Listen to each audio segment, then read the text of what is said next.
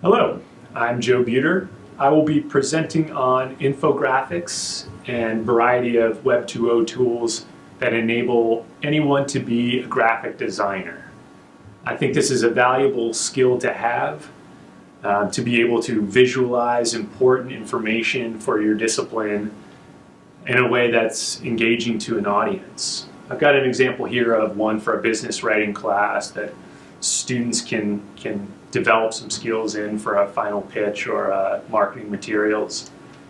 But infographics are also really useful for faculty and staff. Here's an example of a grade breakdown, something that would appear on a, on a syllabus as a way to visually represent the weight of assignments.